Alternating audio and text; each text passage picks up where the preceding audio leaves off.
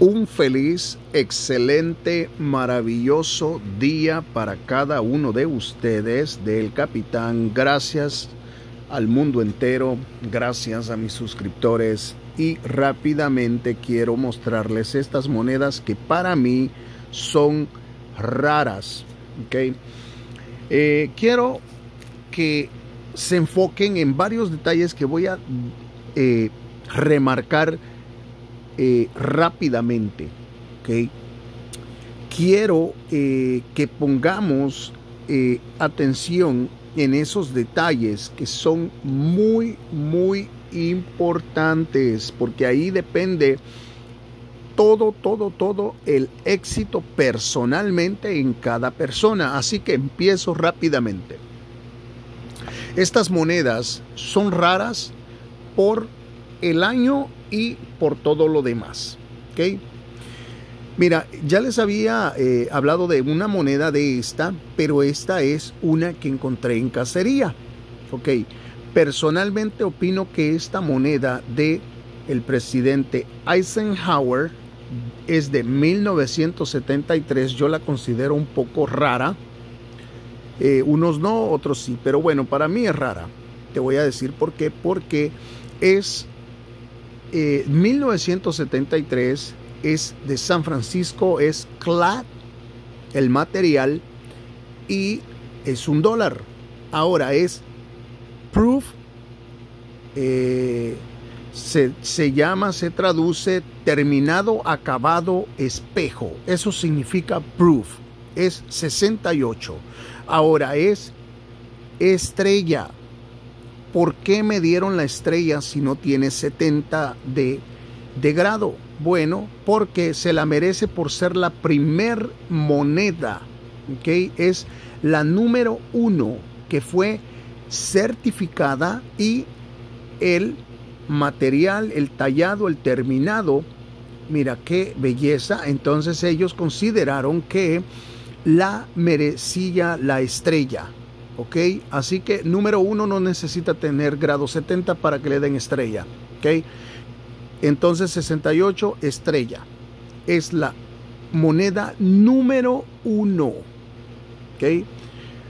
Ahora, algo muy importante que eh, debemos entender es que, y les voy a explicar, es que tú pagas la estrella.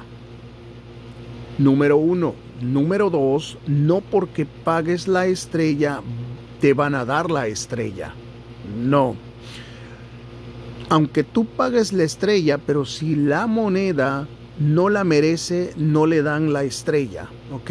Esto hay que aclararlo y hay que especificarlo y saberlo. Porque han habido casos que dicen, bueno, yo pagué la estrella, pero no me la dieron. O yo considero que, que, merecía estrella y déjame decirte algo, esto es tan, tan, tan eh, específico, tan especial, tan literalmente perfecto que ellos cuando te voy a explicar un poco cómo funciona, esta moneda yo la mando. ¿okay? Esta moneda llega a la compañía, la que sea, que son cuatro compañías, y esa compañía tiene tres personas cada persona le hace examen de prueba a tu moneda o billete, en este caso moneda, y ellos le hacen unas pruebas tan, tan perfectas en el cual cuidan cada error, cuidan cada detalle, cuidan cada eh, personalidad literalmente de la moneda y ellos deciden si la merece o no la merece la estrella. Así que bueno, número uno, esta le dieron estrella por ser la número uno eh, y consideran que no necesita también para merecer estrella, tiene que ser de oro, de plata, tiene que ser de cobre, de bronce, o sea, no tiene nada que ver con el material de la moneda.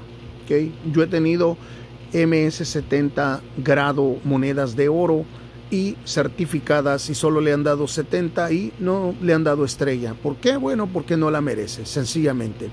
Ahora, segunda moneda es Eh, bicentenario, 1776 a 1976, es S.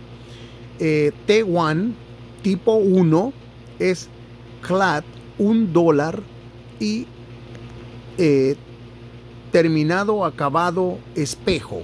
¿Ok? Eso significa proof, terminado, acabado, espejo. Y igual me dieron 68 con estrella. Y si te fijas muy bien es la segunda moneda.